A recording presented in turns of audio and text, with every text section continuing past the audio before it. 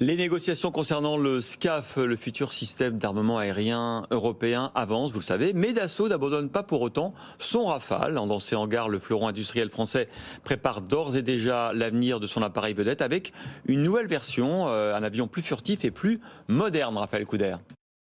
Alors que la quatrième version du Rafale doit démarrer ses premiers tests dans le courant de l'année prochaine, Dassault réfléchit déjà au standard F5 de son avion de chasse, un appareil encore plus connecté, paré pour le cybercombat, mais également plus discret. Au niveau de l'armement, Dassault compte par exemple doter ce Rafale de cinquième génération de missiles furtifs ainsi que de missiles hypersoniques, des technologies qui pourraient par ailleurs équiper le SCAF, le futur avion de combat européen, explique Pascal Samama, spécialiste des sujets de défense à BFM Business. Ça va être la dernière génération de Rafale avant l'arrivée du SCAF. Et bien sûr, les technologies qui vont être intégrées dans cet appareil, certaines vont être déployées sur le SCAF. Ça va être une espèce de pré-SCAF, pas tout à fait comme le SCAF le sera, parce que le SCAF c'est un appareil vraiment nouveau, mais il y aura des systèmes qui pourraient être déportés sur le SCAF et qui pourraient être testés sur le Rafale F5. Par exemple, l'équipage de ce futur appareil devrait être capable de gérer des essaims de drones et de déclencher des tirs à distance depuis ses robots aériens.